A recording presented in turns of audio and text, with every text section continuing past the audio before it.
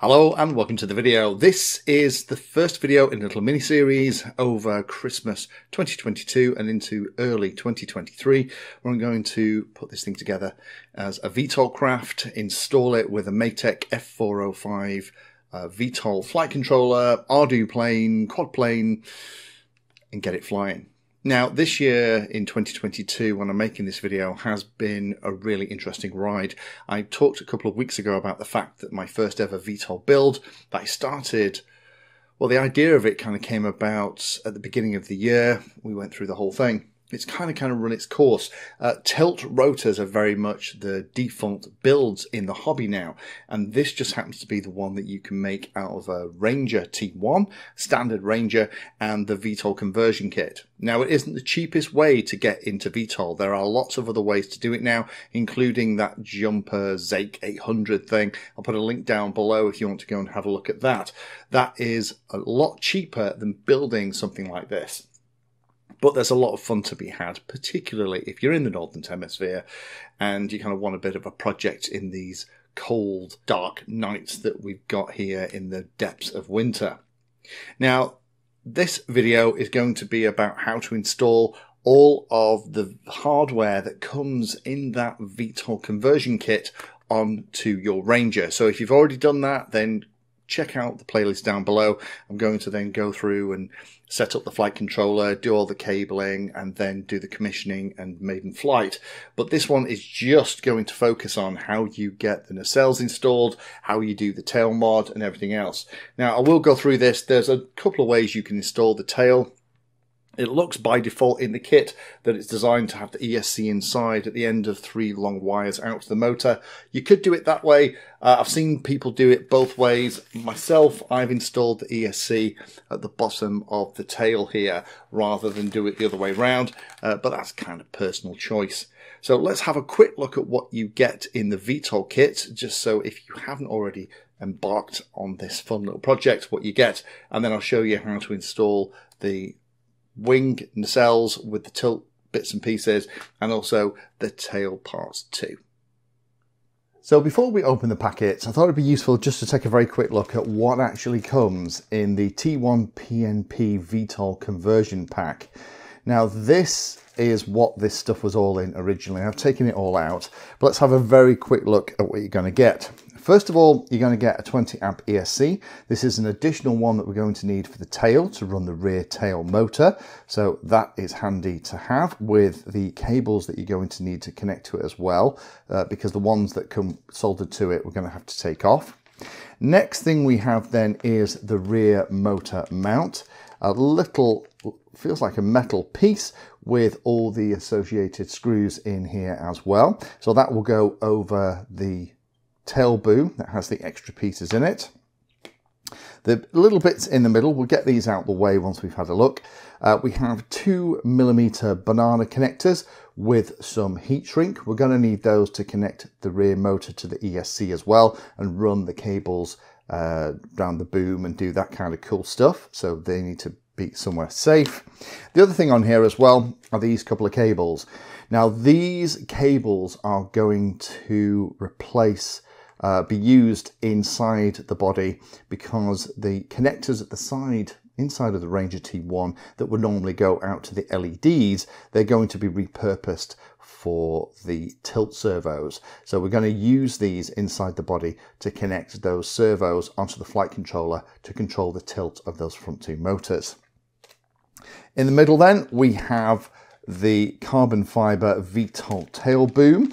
There are some extra holes cut in this in various places. So it's very similar to the carbon fiber version that I looked at a little while ago. There were some kind of upgrades available, but this one has some extra little locating things uh, as well as uh, some holes for the cables to go through as well.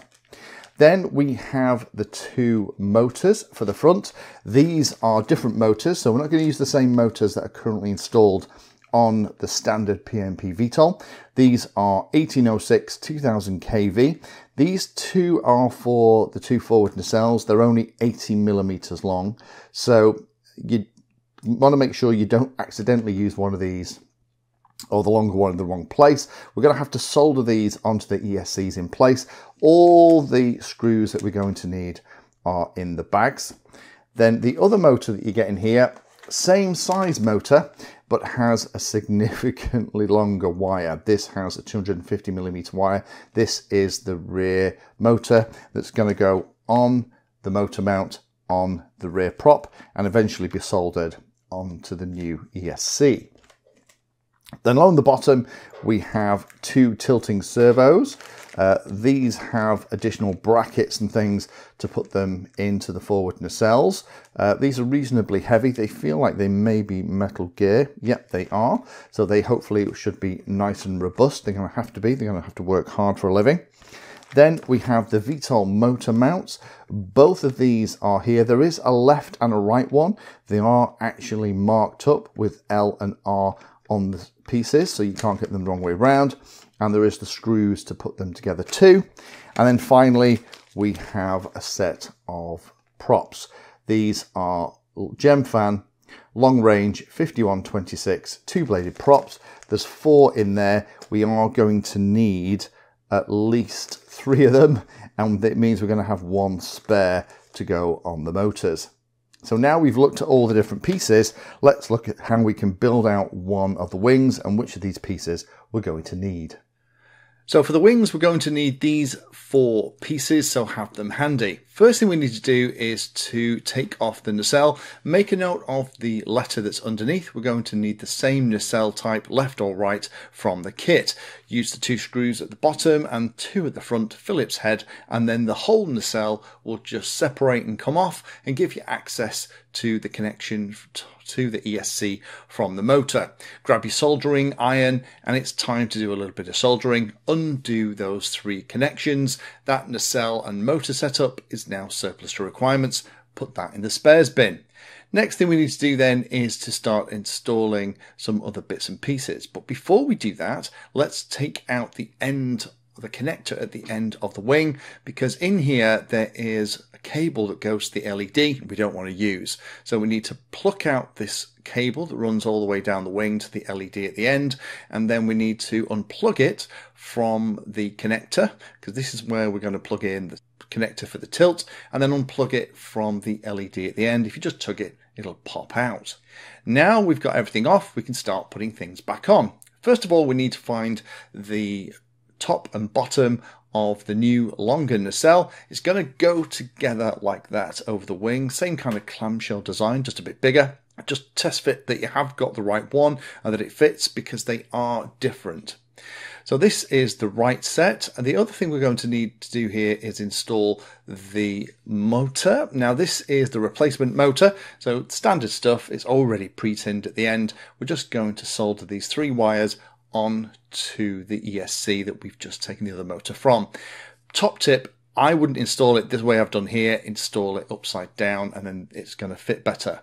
Now we need to install the tilt servo with the tilt mechanism. This piece here at the end that's free rotating needs to be towards the root of the wing. So find the top part of the nacelle and make sure just test for everything and everything goes together with the screws in the kit. Little black screws with blue loctite on. You'll need a little allen wrench to put it all together. Once it's together it'll look something like this. It means that it's been held in place with metal going into metal of the actual servo which is a nice way to do it. Pop everything in position put the other side on and feed the motor cable through and then again use two of the little black screws and two silver Phillips head screws to put it back in place. Feed the wire for the servo through into the connector and push it home. That now means the connector, rather than having the LED connection, is now going to be used for us to control that tilt servo that we've just put in the wing. Top tip, you can use a lollipop stick to open up some of the channels if you're finding it hard to get all the cables in because some of them are a little bit tight. Next thing we need to do is finish making the cage for the motor. Just put everything out on the table and just test fit it's all going to work because once you put it out like this it's pretty obvious. Screw the plate into the back of the motor and I would recommend that while you're doing that screw the end piece on for the servo as well and then it's just a case of then pushing that over the output shaft of the servo and then using two of those same black little screws to kind of put it into place. A very neat solution to give you a very, very precise tilting mechanism directly connected to the servo itself.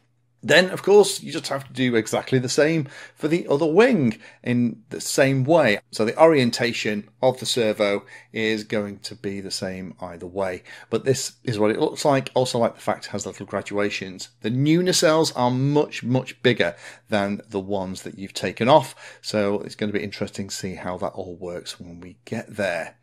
So with hopefully get the other wing done and then we can do the tail. Now, in terms of the normal tail, putting it together, it's exactly the same as any other Ranger T1. The screws are all marked to put the tail together, so see my build for the original Ranger. More going to focus here, rather than on the tail pieces, on the VTOL extra bits, because the tube that goes into the tail is a slightly different one. It's designed so that the wires can go through it into the body. So the bits we're going to need are the motor with the long wires and we're going to need the motor mount as well. It's going to go together like this with all of the same screws that we've used so far. So it kind of looks like it's going on, uh, on like a little ring piece. Now this is going to slide over and sit just in front of the opening. Now we're going to need the ESC and the wires for this with the way that I'm going to put it together aren't quite long enough. And I need to make sure that I'm mounting it with this side showing so that we get the maximum amount of cooling. So I'm going to have to figure out a way to extend the wires on here. But luckily, we have a couple of options. Now I'm going to mount it probably about here so that it is underneath and that means the wires can come around and up, go into the hole and into the chassis. Now this is the cable that we took out for one of the LEDs, the wings. I'm going to snip the ends off, take out the red core and then twist it together. That's going to become my signal wire. So I'm going to solder that into place. Now there are two wires that I can solder onto the power connections from the ESC and that will do it as well. So with the signal stuff soldered into place, it looks like this. And then when I've soldered the wire extensions that came with the VTOL kit onto it, it's going to work. Now I need to cut off the wires from the motor and solder those onto the ESC. I've done it at this kind of weird angle because when I wrap it round, it's going to look nice and neat. So we can slide the whole assembly on just in front of the little cutout. And then that means that if we can turn it over, and I haven't done it up completely properly here, I can use the 3D printed part a little spacer with a cable tie to keep it in place. It's actually designed for two cable ties, so it looks like that. Knit those up, and then I can pull the cables through one by one, and it looks like this. Not too gruesome to look at. Uh, not as neat as having it inside the body, but I prefer it this way. So we have the signal cable, we have the connector for the elevator, and we have the power wires for the ESC as well.